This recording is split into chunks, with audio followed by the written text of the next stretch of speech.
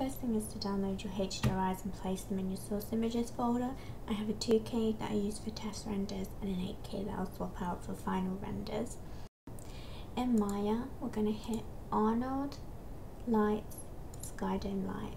And then in the attribute editor, where the color that's currently white is, we click the little checkerboard, then File, then choose a folder icon.